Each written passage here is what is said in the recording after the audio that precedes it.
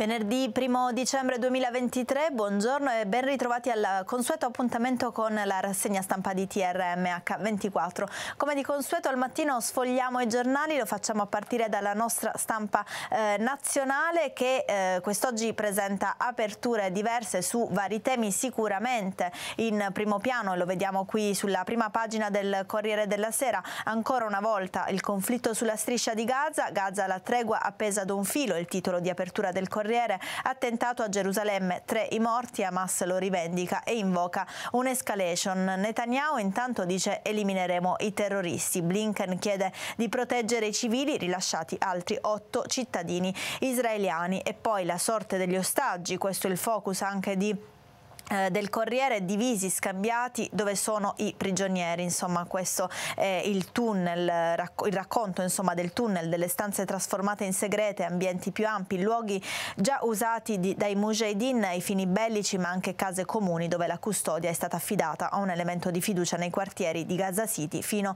a Khan eh, Yunis. Sono queste le prigioni degli ostaggi che vengono poi ra raccontati nelle eh, pagine interne a pagina 3 e poi la fotonotizia dei soccorsi soccorritori sul luogo dell'attentato a Gerusalemme. E poi in taglio centrale eh, la fotonotizia dedicata al secolo di Kissinger, il grande diplomatico morto ieri a 100 anni, ovviamente eh, statunitense, l'ex segretario di Stato americano Henry Kissinger nel suo ufficio di Washington in questo scatto bellissimo del 1957 e la sua figura è eh, chiaramente approfondita alle pagine 12 e 13 13 da Massimo Gaggi e Viviana eh, Mazza. E poi sul fronte interno arretra l'inflazione, tensione sugli scioperi Parliamo di lavoro, poi Salvini, treni fermi, mai più disagi così. La strada è quella buona, l'inflazione cala. L'attuale livello dei tassi di interesse sarebbe sufficiente a riportarla in linea con l'obiettivo del 2%. Il governatore della Banca d'Italia, Fabio Panetta, ha detto che la marcia verso la disinflazione è eh, ben avviata, però i tassi di interesse non possono restare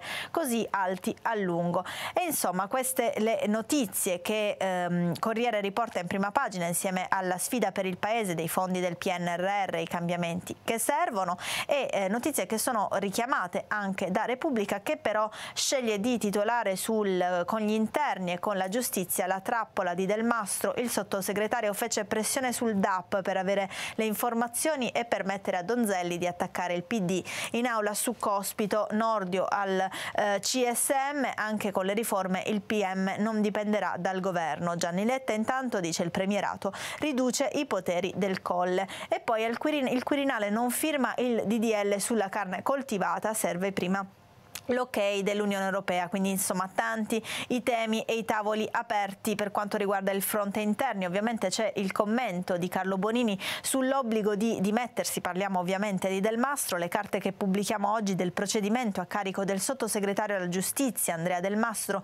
rinviato a giudizio per rivelazione di segreto di ufficio, fotografano l'impostura politica di un uomo non degno di restare un solo minuto in più nell'ufficio che occupa. E questa è l'analisi durissima. E poi poi il fronte esteri, ancora una volta sulla striscia di Gaza, eh, l'attentato di Hamas a Gerusalemme, una minaccia sulla tregua, liberati altri otto ostaggi, Blinken in Israele da Netanyahu. E questi sono nella foto che vediamo i corpi di alcune delle vittime nell'attentato di ieri eh, a Gerusalemme che ricordiamo è stato eh, rivendicato da eh, Hamas, tre morti tra cui una 24enne incinta eh, che mettono a rischio la prosecuzione della tregua e degli scambi di ostaggi israeliani e prigionieri eh, palestinesi. E poi il cartellone dopo vent'anni la sempre meglio gioventù. Leggiamo nei flash di spalla su Repubblica e De Sica che dice basta con ruoli misogini ora arriva il momento della eh, tenerezza e poi Maldini Milan la mia storia non si cancella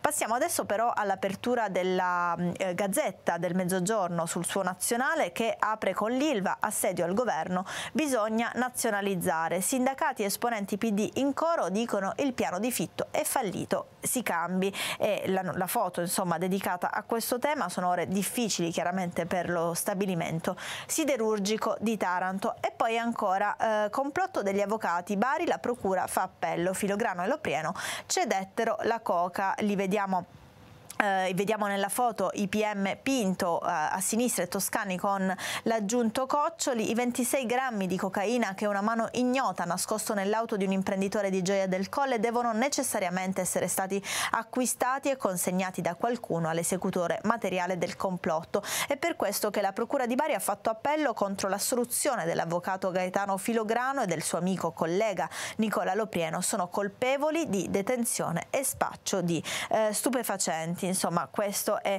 il, eh, la notizia di spalla qui su Gazzetta. Ci spostiamo però dalle notizie nazionali al nostro fronte locale, lo facciamo con la nostra consueta carrellata delle edizioni locali della Gazzetta del Mezzogiorno. Partiamo da Bari, la Movida è fracassona, lo dice pure la centralina.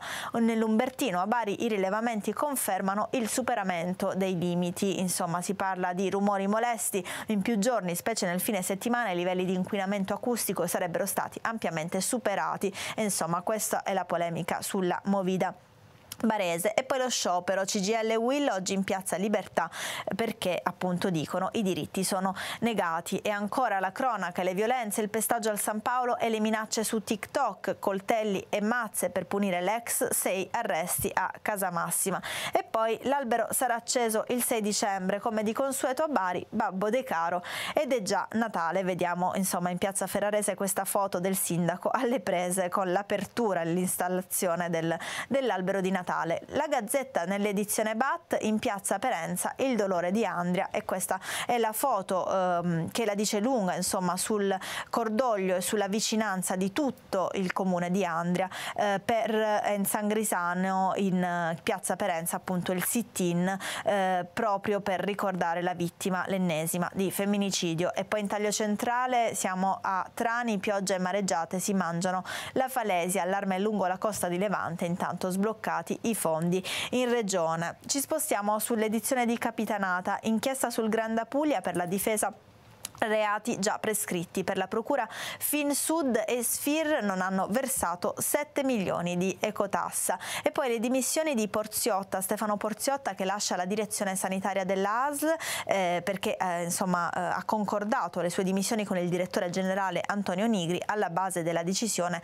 eh, esigenze di carattere personale. E poi utilizzo di farmaci e prodotti di consumo, i medici denunciano ostacoli burocratici. Il policlinico di Foggia nessun blocco sulle urgenze, solo l'invito ad evitare gli sprechi. Il nuovo scontro a riuniti dopo il caso eh, di anestesisti e, ehm, e, ispettorati del lavoro. E poi ancora, ehm, ancora una volta su Gazzetta del Mezzogiorno eh, continuiamo la nostra carrellata, il nostro percorso lungo la Puglia. Siamo adesso alla edizione del Salento. Paura Alfazzi, detenuto per omicidio, tenta la fuga. È accaduto ieri, giunto per una visita al pronto soccorso sfuggito al controllo degli agenti è stato poi bloccato dopo un'ora eh, proprio all'interno del parcheggio dell'ospedale. E, e, poi l'operazione della Guardia di Finanza e Dogana Brindisi eh, Gringo fiuta 139 mila euro di banconote che stavano per partire alla volta eh, dell'Albania. Insomma la foto è dedicata proprio a queste banconote. A Lecce arriva il nuovo bando per le case popolari mentre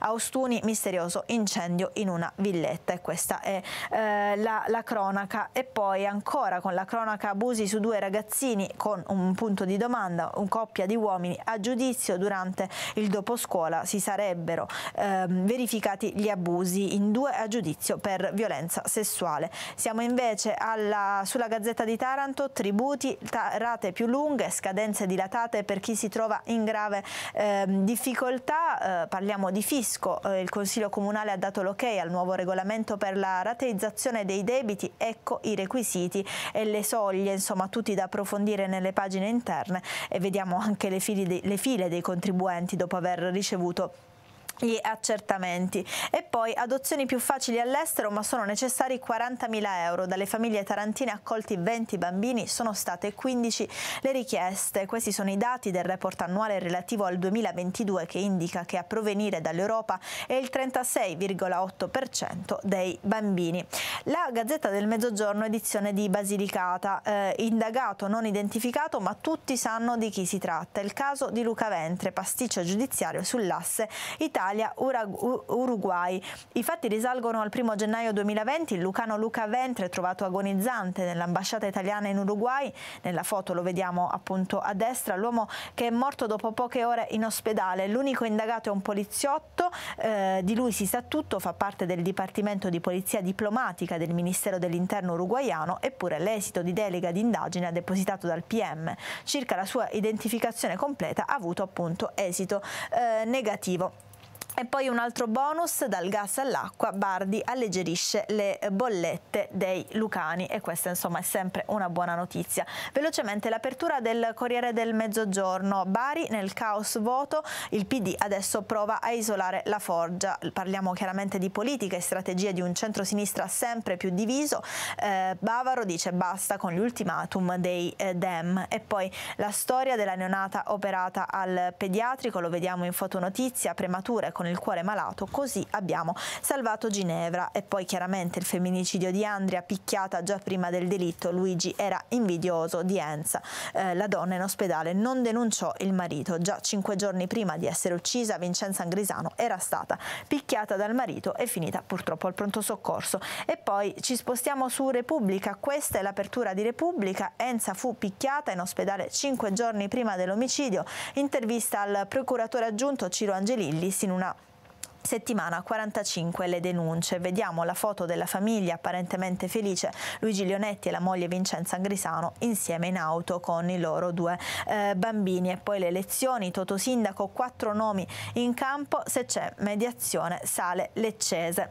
E poi ci spostiamo sull'apertura di Edicola del Sud che sceglie invece il caso dell'ex Silva in agonia, colpa dello Stato, l'acciaieria, i sindacati a Meloni, futuro in bilico, l'altoforno 2 verso lo spegnimento. In intanto Emiliano attacca. E poi ancora il femminicidio di Andrea, le indagini che vanno avanti e in attesa dell'autopsia di domani, Enza il ricovero in ospedale cinque giorni prima della morte, il marito al GIP dice mi eh, tradiva e poi il progetto nel capoluogo alberi per abbattere il degrado così le aree abbandonate si trasformano in eh, zone verdi, accade a Bari 2 milioni per la riforestazione. E in conclusione di questa nostra carrellata della stampa delle notizie del giorno. Chiudiamo con le notizie economiche, siamo sulla prima pagina del Sole 24 ore, eh, Eurozona l'inflazione a quota 2,4%, risultati da primato per le borse, parliamo chiaramente di mercati e congiuntura, in Italia nuova frenata dei prezzi a novembre più 0,8% dal più eh, 1,7% di ottobre. Il mese scorso le borse globali sono salite dell'8,9%, Milano verso i 30.000 punti. E con questa notizia noi ci fermiamo, l'appuntamento con la rassegna stampa è per domani mattina, ma l'informazione continua con tutte le edizioni dei nostri telegiornali. Buona giornata.